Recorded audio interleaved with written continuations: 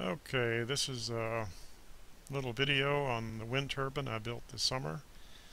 I have about two mile an hour winds running here and this is the uh, wind turbine. I also have uh, two solar panels up on the roof getting ready to build two more. I'll show you a few pictures of how this wind turbine was put together. This, this is the rotor. There's two of these with 12 magnets and then uh, this is the coils that uh, before the uh, fiberglass was poured onto them and there's some the hardware three uh, diodes there. These are the wings before the aluminum skin was put on. And there's the finished uh, generator running had a little bit of wind today running about 7 volts out of it.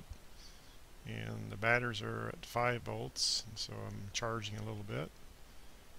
And there's a concrete pad that I poured.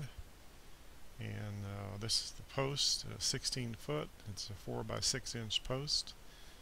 And I'm planning on adding another 8 foot to that to get it up a little higher away from the trees.